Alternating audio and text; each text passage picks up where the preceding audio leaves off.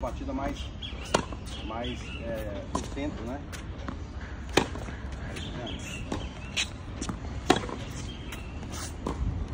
Uma vez pode ser olho. O contato da bola com a raquete? Sim.